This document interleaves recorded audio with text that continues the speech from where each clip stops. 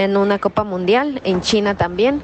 Y ya con eso cierro mi año y, pues mi, mi clasificación para, para obtener la plaza. Completaría mis seis eventos internacionales que están pidiendo la Federación Internacional. Entonces, pues estoy muy contenta, muy contenta y muy cansada porque este año ha sido muy largo y en cuanto a estar compitiendo casi cada mes, estar yendo a campamentos. Entonces sí, sí ha sido un poquito difícil, pero bueno, la, la emoción de poder clasificar a unos Juegos Olímpicos es aún mayor.